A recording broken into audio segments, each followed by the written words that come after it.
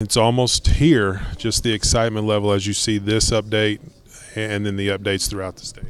Exactly right. I mean, I can't wait for Saturday. Been you know since I arrived on campus officially on January the first, have been kind of pinpointing uh, to this day where we open this facility and all the renovations throughout Razorback Stadium. And you know, I'm excited to see the reaction to all of our fans when they pile in here on Saturday. And our team runs through this brand new North End Zone facility through the A and out onto the field, and just to see the energy and the passion and excitement of Razorback football fans.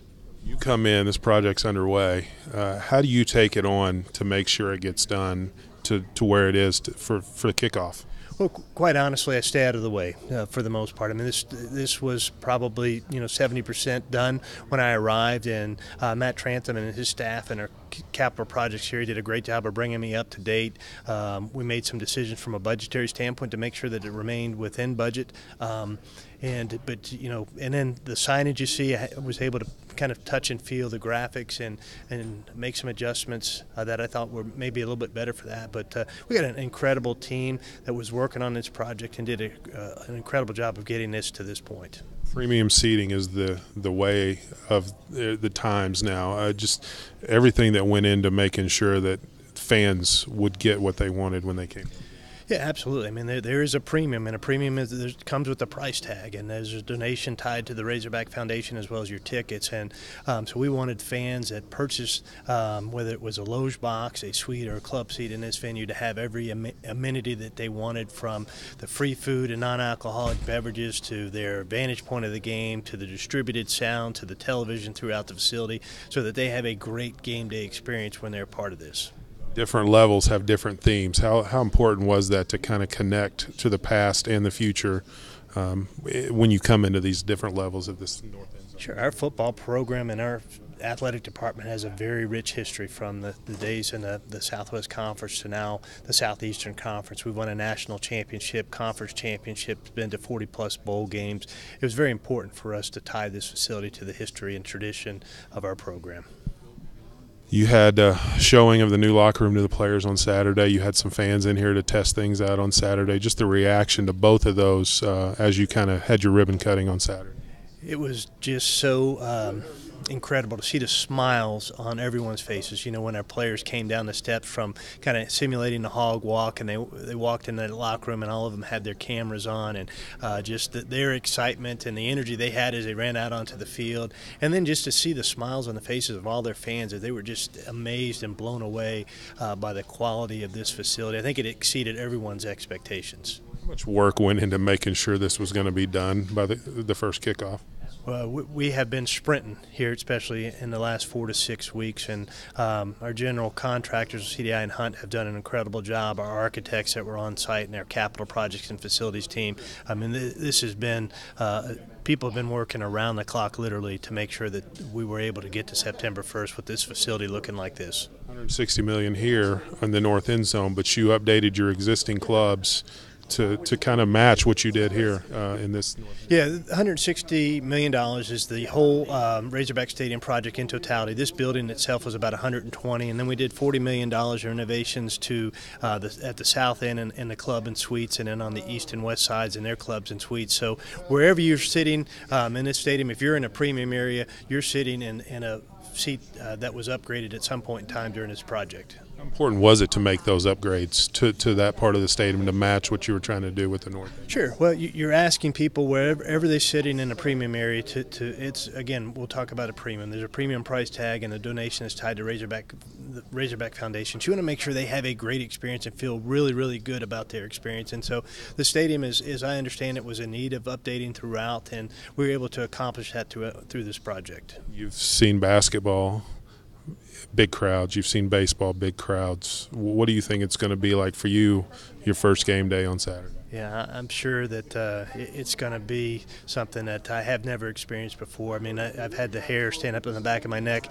um, at Bud Walton Arena calling the Hogs at, at midcourt, and then, of course, at Baum Stadium, and even in Omaha, where 20,000 uh, Razorback fans were there. But I've been looking forward to this experience in September 1st and had this date circled on my calendar. I can't wait to, to be here and, and hear our fans here in this venue.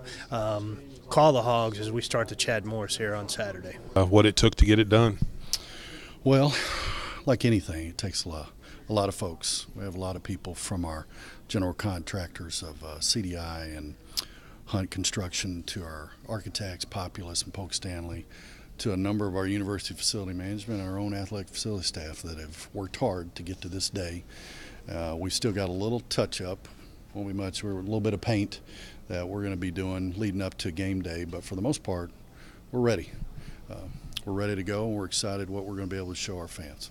A lot of work to get it done to this point to be ready for Saturday. It has. It's been, if you recall, it was probably uh, December 2016 when we we took down the existing Broyles Center and all of those facilities to then get to this point where we open up.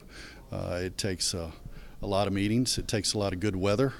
Uh, there's a number of things that, that we, you can't control in these type of projects, like weather, like uh, materials being delayed, whatever the case. And really, our, our folks worked hard to um, handle any adversity that might come along the way and just focus on the, the end result, which is being done by September 1st, and we made it. How excited is the athletic department to uh, debut it on Saturday? Well, you got our, our team got to see the locker room for the first time this past Saturday.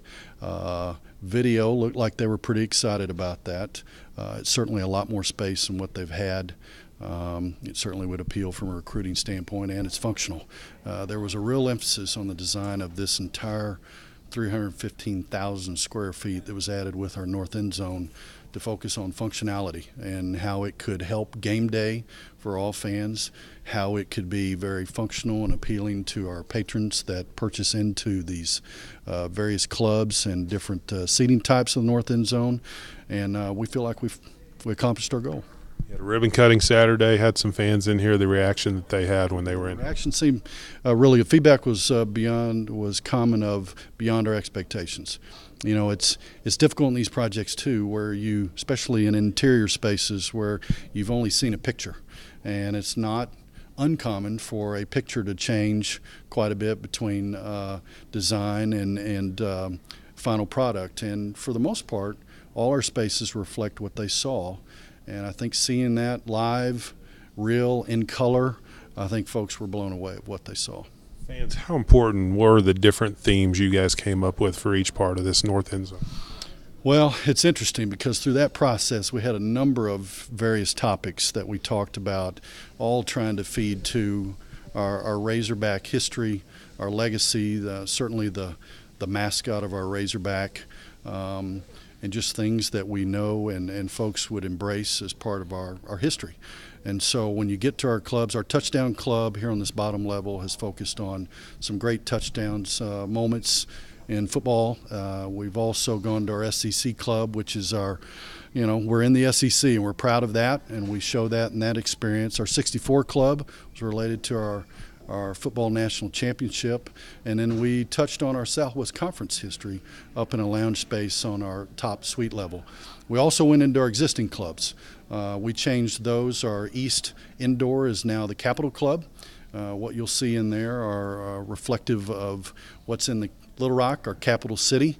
Um, then you go to the South Outdoors, now the Cardinal Club, and that's reflective of images of our institution um, around campus. And then if you go upstairs to the South Indoor, it's now the Diamond Club, which is obviously a symbol on our state flag. It's a we got a, a, diamond mine here in the state and the diamond lakes down around central Arkansas. So we were very intentional about what we wanted to reflect within this um, cathedral football in the state of Arkansas, and we wanted to be reflective of our state. How important was it to do those updates to those clubs to not let that kind of fall to to this? You know, where where everything was updated inside the state.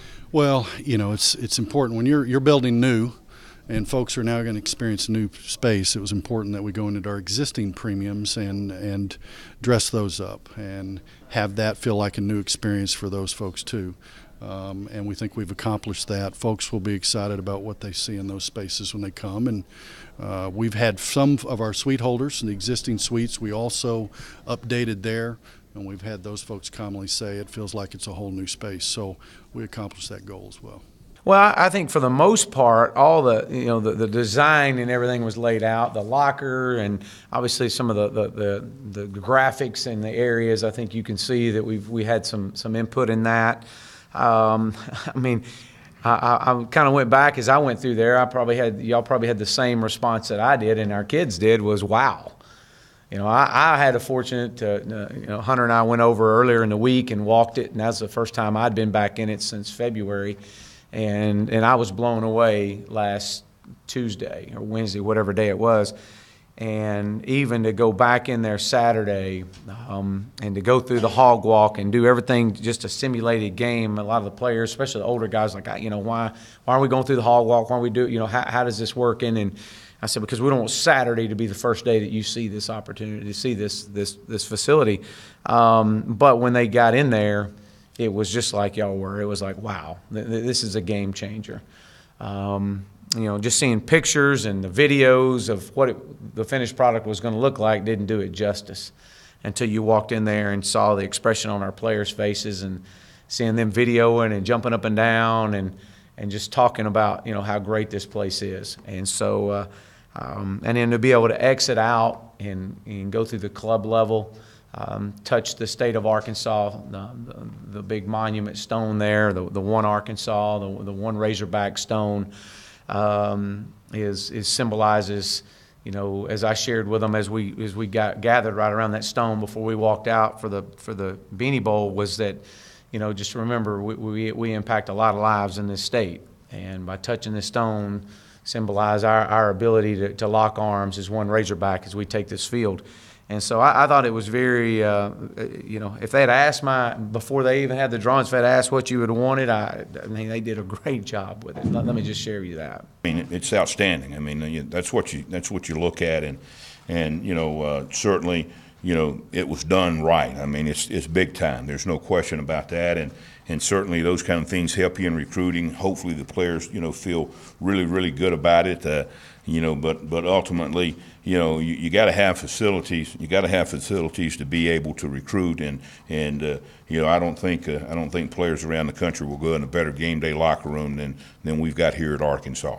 Uh, I really, it's impressive, uh, uh, far, far more than I envisioned before I walked in it. And, uh, you know, I think our, our players feel good about it. But, you know, that's not going to last long. We got to get ready. When we get in there and get dressed, we got to get ready to go play a football game.